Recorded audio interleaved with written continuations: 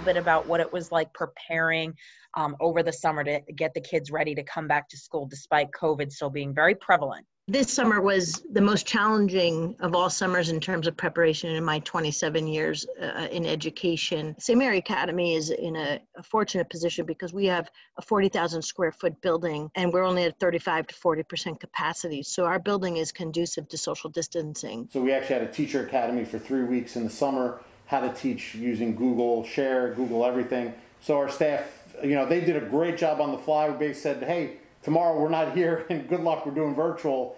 Um, now our, I think our staff was prepared. They're sharing ideas. They're doing a great job, and uh, so I think it's getting better every single day. Are you guys in a hybrid setup right now?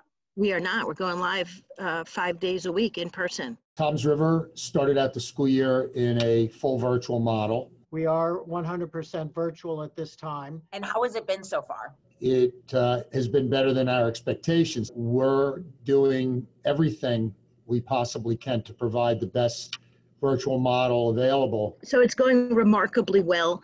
The students have been resilient and we're not having any issues with face masks. They're following all the protocol and the procedures. And we sent that out as early as we could in the summer. So everybody was anticipating the changes. Uh, the students love it. The parents would love for the kids to be here five days a week. Um, and I agree, but just trying to follow the CDC guidelines, we, we had to split the class and, and have six feet separation, all the classrooms. I think some students, especially the younger students, struggle a little bit with all the screen time. The older students are handling that portion a little bit better. And what kind of hurdles do you see the district having to jump over to get it to the point that we are back in school, in session, face to face? Staff shortages, having the staff in person to have some level of in person uh, model, whether it's a blended learning model or full in person. Um, is your district hiring? Should people watching this be applying if they feel comfortable to go back to in person uh, classes?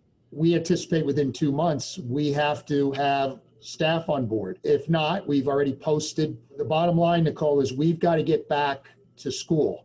We're not going to com- compromise the health and safety of anyone. We'll get there, but people are working incredibly hard.